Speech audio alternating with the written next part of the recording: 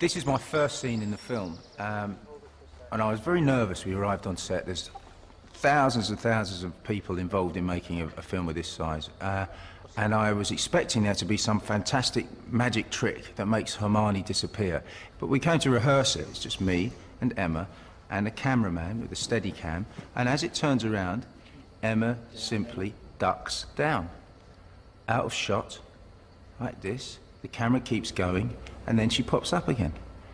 I pretend that I can't see her and pretend that, and, and even though she's there, don't change my focus and then walk away. So it ends up being a really, really, really effective shot that I thought was going to be this huge special effects uh, bonanza, and it's the oldest trick in the book. It's in camera.